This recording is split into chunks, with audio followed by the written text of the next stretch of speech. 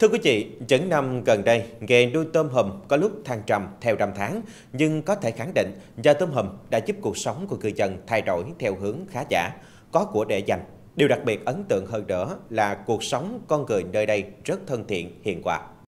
Cụ thể, tại xã Cam Bình, thành phố Cam Ranh, tỉnh Khánh Hòa, giá tôm hùm xanh dao động từ 950.000 cho đến 1 triệu đồng mỗi ký, tăng khoảng 300.000 đồng một ký so với trước Tết. Giá tôm hùm sao khoảng 2 triệu đồng một ký, tăng gần 500.000 đồng mỗi ký. Tuy chưa phải chính vụ, nhưng mỗi tháng người nuôi tôm hùm ở xã Cam Bình xuất bán khoảng 20 tấn tôm hùm các loại, đem lại thu nhập cao. Được biết toàn xã Cam Bình có khoảng 1.000 hộ nuôi tôm hùm với khoảng 10.000 lồng tôm hùm, trong đó tập trung chủ yếu ở đảo Bình Ba. Nếu mức giá này được duy trì đến cuối năm, hộ nuôi nhiều khoảng 100 lồng sẽ thu thu về hơn 5 tỷ đồng, lãi trên dưới 2 tỷ đồng.